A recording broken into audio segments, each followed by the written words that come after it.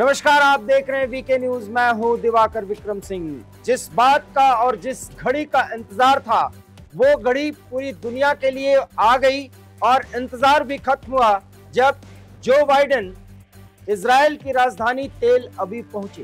तेल अबीब में उनका स्वागत खुद प्रधान, प्रधानमंत्री बेंजामिन नेतन्याहू और उनके कैबिनेट के प्रमुख सहयोगियों ने किया।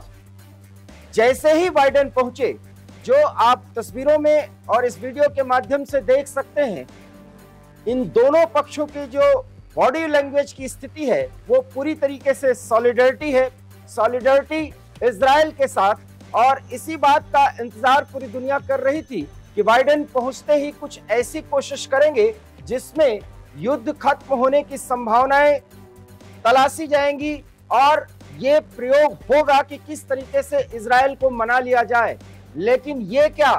बाइडन जैसे ही तेल अभी पहुँचे, उन्होंने ये बयान दे दिया कि मैं आया ही हुई, आया ही इसीलिए हूँ क्योंकि मैं इसराइल का साथ देना चाहता हूँ। ये बहुत बड़ा बयान जो बाइडेन का है और इसके साथ ही उन्होंने ये भी कहा कि हमास फिलिस्तीनियों का प्रतिनिधित्व नहीं करता।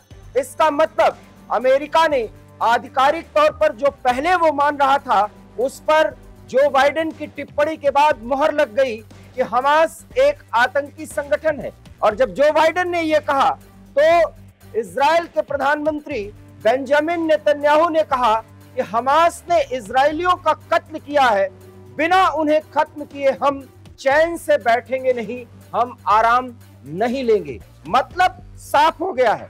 पूरी दुनिया की नज़र अगर बाइडेन के तेल अभी पहुँचने और इसके बाद शांत की कोशिशों की शुरुआत से लगाई जा रही थी तो अब वो निगाहें वहाँ से हटती हुई नज़र आनी चाहिए, क्योंकि जो बाइडेन ने सीधा संकेत दे दिया है कि वो इसराइल के साथ है और इसराइल के अस्तित्व के प्रति अमेरिका पूरी तरीके से चिंतित है। और यही नहीं बाइडेन ने यह कहा कि ये घड़ी और ये क्षण अमेरिका के लिए मुश्किलों भरा मुश्किलों भरा है।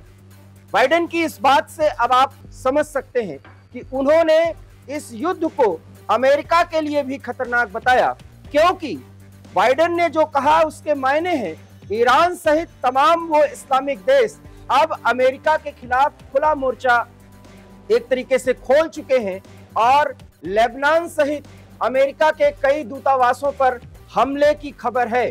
अमेरिका ने यह भी कहा है कि इसराइल अपने अस्तित्व को बचाएगा और अमेरिका उसका सबसे बड़ा एलाई सबसे बड़ा सहयोगी है और इसकी जो दरकार है, उसके लिए अब अमेरिका इसराइल का पूरा साथ देगा। मतलब हमास के एलिमिनेशन और उसके खात्मे तक इसराइल जो कुछ भी करेगा और सैन्य कार्रवाई भी उसमें शामिल है, उसमें अमेरिका कोई रोक नहीं लगाएगा। इसके मायने साफ़ हैं। साथ ही साथ उन्होंने फिलिस्तीन के प्रति भी हमदर्दी जताई, लेकिन ये कहा कि हमास फिलिस्तीन का प्रतिनिधित्व नहीं करता। इसलिए हमास को आतंकी संगठन माना जाएगा और हमास ने ही इसराइलियों का कत्ल किया है।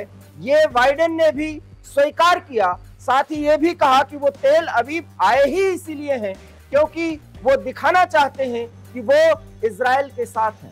इसके मायने अब आप समझ लीजिए, पूरी दुनिया दो धड़े में बढ़ चुकी है। एक तरफ़ हमास के समर्थन में फिलिस्तीन के नाम पर तमाम इस्लामिक देश जिसका नेतृत्व ईरान कर रहा है, जिसमें सीरिया, जॉर्डन, मिस्र और वो तमाम देश हैं, इसमें अब इराक भी शामिल हो गया है। साथ ही साथ सऊदी अरब और कतार जैसे भी देश शामिल हो गए हैं। लेकिन अमेरिका ये कह रहा है कि कोई भी इसराइल के वजूद को खत्म करने की बात करता है तो अमेरिका उसके खिलाफ खड़ा हो जाएगा, क्योंकि अमेरिका इसराइल के वजूद के प्रति बेहद सतर्क और पूरी तरीके से गंभीर है। इससे इसराइल के प्रधानमंत्री बेंजामिन नेतन्याहू को एक बड़ा बूस्टअप मिला है और उन्होंने कहा है कि वो तब तक दम नहीं लेंगे जब तक हमास का खात्मा नहीं कर देते। तो ये युद्ध अब लंबा खींचने वाला है, जैसा कि वीके न्यूज़ पर पहले ही बता दिया गया था कि जो लोग इस बात का इंतज़ार कर रहे हैं कि जो बाइडेन जैसे ही तेल अभी पहुँचेंगे, कुछ ऐसी भूमिकाएँ बनाई जाएँगी जिसमें इसराइल पर एक नैतिक दबाव बनाया जाएगा ताकि वो एरियल अटैक हवाई अटैक रोके मिसाइल अटैक रोके, लेकिन अमेरिका ने ऐसा कुछ नहीं कहा। साथ ही साथ खबर तो ये भी है कि अमेरिका की 2000 की संख्या में एलिट फोर्स पूरी तरीके से तैयार है, क्योंकि लेबनन, सीरिया, जॉर्डन और मिस्र जिस तरीके से उबाल खा रहे हैं और ईरान सीधे सीधे हमले की धमकी दे रहा है, जैसा कि आप एक वीडियो के ज़रिए भी देख सकते हैं कि ईरान के एक संसद की बैठक में किस तरीके से इसराइल को खत्म करने के नारे लगाए जा रहे हैं, फिलिस्तीन के जिंदाबाद के नारे लगाए जा रहे हैं। ईरान इस समय उछल तो बहुत रहा है, लेकिन अमेरिका ने यह संदेश और संकेत दे दिया है कि अगर कोई दुस्साहस की कोशिश हुई ईरान जैसे देश की तरफ़ से तो फिर अमेरिका चुप नहीं बैठेगा।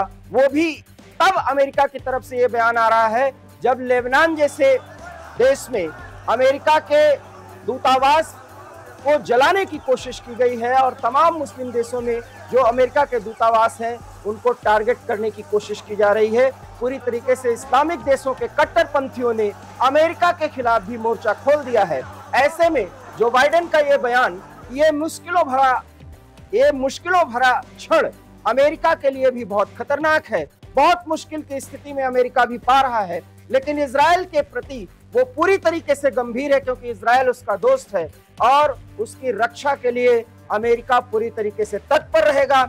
हमास और हिजबुल्ला जैसे संगठन पूरी दुनिया और मानवता के लिए एक बड़ा खतरा है। अमेरिका ने यह भी संदेश दे दिया है। इसलिए अगर गाजा पट्टी में हमास के खिलाफ कार्रवाई आगे बढ़ेगी तो उसमें इसराइल पर अमेरिका कोई रोक नहीं लगाएगा। लेकिन जो बाइडेन ने इस मौके पर यह भी कहना उचित नहीं समझा कि हमास के खिलाफ जो कार्रवाई हो रही है, उससे गाजा पट्टी में निरपराध और बच्चे भी मारे जा रहे हैं।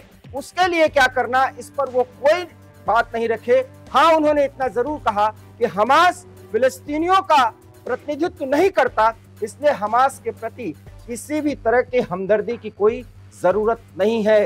बड़ी बात कही है जो बाइडेन ने।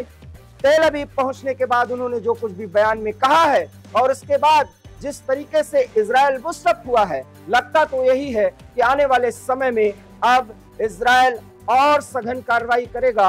और हो सकता है कि इसके बाद कभी भी तीन लाख से अधिक एलिट फौज जो इसराइल की तैयार खड़ी है, हमास को खत्म करने के लिए गाजा पट्टी में एंट्री के लिए, वो अब एंट्री कर सकती है। और अगर ऐसा होगा तो वहाँ मानवीय त्रासदी और ज़्यादा भयंकर और संकट के दौर में हो सकती है। इस त्रासदी से बचाने के लिए प्रधानमंत्री नरेंद्र मोदी ने भी एक ट्वीट किया है कि किस तरीके से गाजा पट्टी पर जो हमला हुआ है और एक हॉस्पिटल में हमले में 500 से अधिक बच्चे, बूढ़े नौजवान जो निरपराध थे, जिनका कोई अपराध नहीं था, वो मारे गए। इसके लिए जिम्मेदार लोगों की ज़िम्मेदारी और जवाबदेही तय होनी चाहिए। मतलब साफ़ है, क्योंकि अब इसराइल ने कई प्रमाणों से यह साबित कर दिया है कि ये मिसाइल अटैक, गाजा पट्टी पर हमास और उसके सहयोगी उग्रवादी संगठनों ने ही किया था और गलती से ये मिस फायर हुआ और उसका खामियाजा भोले भाले गाजा पट्टी के फिलिस्तीनी निवासियों को भुगतना पड़ा है। ये अब खबरें जिस तरीके से प्रोपोगेट की गई थी और इसराइल को इसके लिए जिम्मेदार ठहराया जा रहा था अब उसकी भी पोल पट्टी खुलने लगी है, इसलिए प्रधानमंत्री नरेंद्र मोदी ने ट्वीट भी किया है और जिम्मेदार लोगों की जवाबदेही तय करने की बात कही है। बहरहाल, अब युद्ध एक नए दौर में प्रवेश करने जा रहा है, क्योंकि जो बाइडेन ने इसराइल का साथ देने का ऐलान कर दिया है और उन्होंने साफ़ तौर पर कहा कि वो इसराइल आए ही इसीलिए हैं, क्योंकि वो दिखाना चाहते हैं कि इसराइल के सबसे बड़े दोस्त हैं। इस खबर पर आपकी क्या राय है? अपनी प्रतिक्रिया दीजिए। देखते रहिए वीके न्यूज़ दीजिए इजाज़त। नमस्कार। वीके न्यूज़ राष्ट्र के नाम।